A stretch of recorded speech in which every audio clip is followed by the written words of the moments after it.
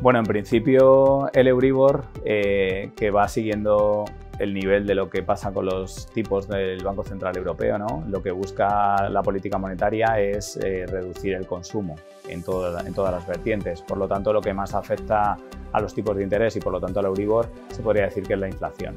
Eh, mientras que la inflación siga estando por encima de los límites que se consideran saludables para la Unión Europea, en especial para Alemania, pues tendremos estos escenarios de Euribor altos.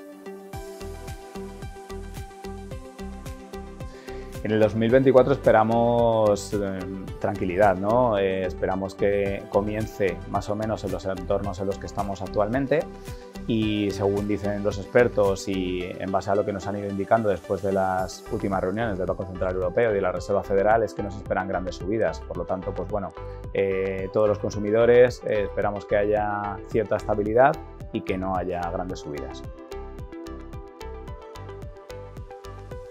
La verdad es que eso creo que nos encantaría a todos, ¿verdad? Porque la mayor parte de los españoles estamos endeudados y tenemos nuestros préstamos hipotecarios y nuestros préstamos personales referenciados al Euribor, pero lo cierto es que si los volvemos a ver negativos sería algo malo, porque ese Euribor negativo implica que la economía está en grave, en grave crisis, por lo tanto necesita esa inyección de dinero muy barata para que se incentive el consumo, se incentive la inversión.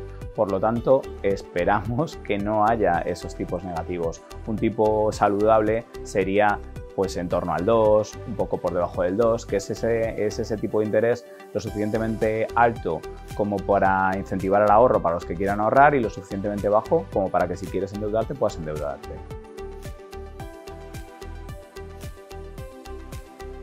Mira, si todo funciona correctamente y los mecanismos de la política monetaria eh, hacen lo que deben hacer, lo lógico sería que los precios de la vivienda bajasen antes de que bajen los tipos de interés. Porque precisamente los tipos de interés lo que buscan es que eh, el acceso a la financiación, el acceso a las hipotecas sea un poquito más complicado.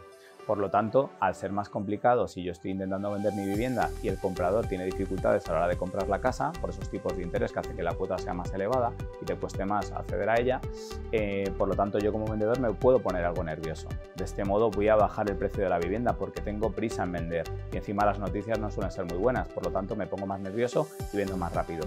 Es decir, los precios de la vivienda deberían ir bajando y según el consumo se va controlando, los tipos de interés deberían ir bajando.